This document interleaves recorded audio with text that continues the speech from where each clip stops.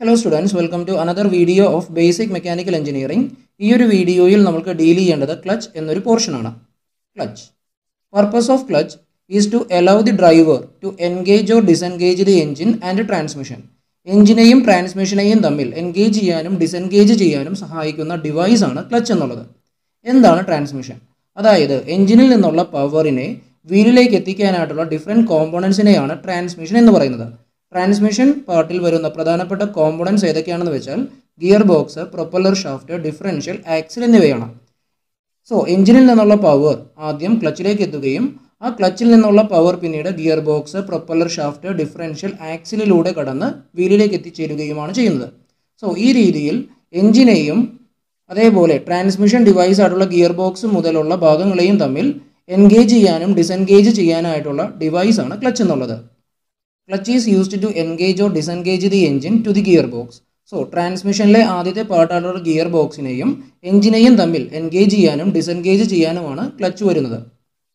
When clutch is in engaged position engine power flows to the gear box through the clutch and from gear box power flows to the wheel so clutch എന്നുള്ളത് engaged ആയിട്ടുള്ള പൊസിഷനിലാണെങ്കിൽ എഞ്ചിനിൽ നിന്നുള്ള power ക്ലച്ചിലൂടെ gear ബോക്സിലേക്ക് എത്തുകയും gear ബോക്സിൽ നിന്ന് ആ ഒരു പവർ വീലിലേക്ക് എത്തിച്ചേരുകയും ചെയ്യുന്നു.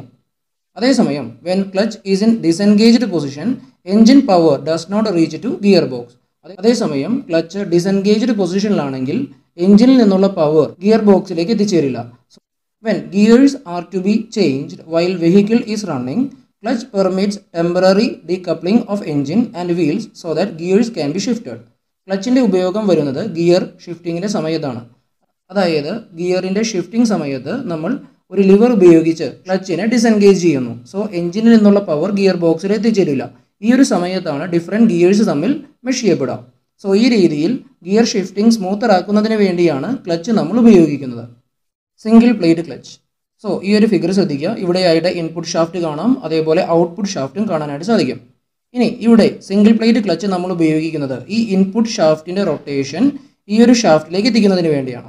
സോ എഞ്ചിനിൽ നിന്നുള്ള ഷാഫ്റ്റാണ് ഈ ഒരു ഇൻപുട്ട് ഷാഫ്റ്റ് അത് എഞ്ചിൻ റൊട്ടേറ്റ് ചെയ്യുന്ന അതേ സ്പീഡിൽ റൊട്ടേറ്റ് ചെയ്തുകൊണ്ടിരിക്കും. നമുക്ക് ഈ ഒരു റൊട്ടേഷൻ ഈ ഒരു ഔട്ട്പുട്ട് ഷാഫ്റ്റിലേക്ക് എത്തിക്കണം ഇവിടെ നിങ്ങൾ ശ്രദ്ധിച്ചാൽ മനസ്സിലാകും.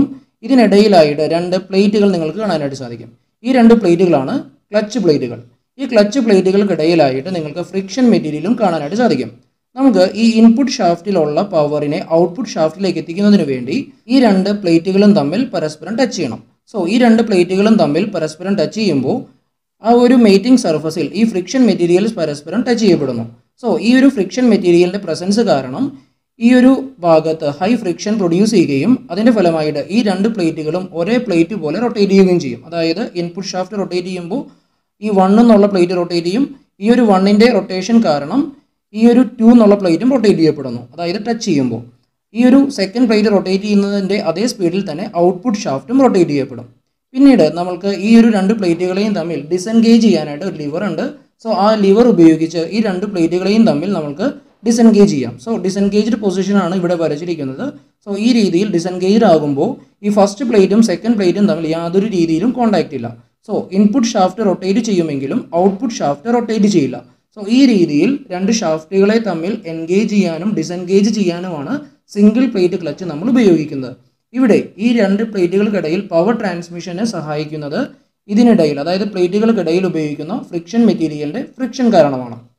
സോ ഇപ്പോൾ പറഞ്ഞ കാര്യങ്ങളാണ് ഇവിടെ നോട്ട് ചെയ്തിരിക്കുന്നത്. Single plate with friction surface is connected to a driven shaft driven shaft transfers power to the gear box അതായത് ഔട്ട്പുട്ട് ഷാഫ്റ്റിൽ നിന്നും പവർ പിന്നീട് പോകുന്നത് gear ബോക്സിലേക്കാണ് flywheel is connected to the driver shaft അതായത് ഇതിലുള്ള ഇൻപുട്ട് ഷാഫ്റ്റിന്റെ എൻഡിലാണ് ഫ്ലൈ വീൽ വരുന്നത്. ഫ്ലൈ വീലിന് മുന്നെയാണ് എഞ്ചിൻ സോ എഞ്ചിനിൽ നിന്നുള്ള പവർ ഫ്ലൈ വീലിലേക്ക് എത്തുകയും ഫ്ലൈ വീലിൽ നിന്ന് ഇൻപുട്ട് ഷാഫ്റ്റിലേക്ക് പവർ എത്തുകയും ചെയ്യുന്നു. Both the shafts are coaxial അതായത് ഈ രണ്ട് ഷാഫ്റ്റുകളും ഒരേ ആക്സിസിലാണ് ഒരേ ലൈനിലാണ് ഇരിക്കുന്നത്. സോ ഈ രണ്ട് ഷാഫ്റ്റുകളും കോ ആക്സിയലാണ് during disengagement a lever keeps the driven disc away from the driving disc so disengagement പൊസിഷനിൽ ഒരു ലിവർ ഉപയോഗിച്ച് ഡ്രിവൺ ഡിസ്കിനെയും അതേപോലെ ഡ്രൈവിംഗ് ഡിസ്കിനെയും തമ്മിൽ പരസ്പരം disengage ചെയ്യിപ്പിക്കുന്നു. To engage the clutch the lever is gradually released clutch release ചെയ്യുമ്പോൾ ഈ രണ്ട് ഡിസ്കുകളും പരസ്പരം എൻഗേജ് ചെയ്യപ്പെടുന്നു.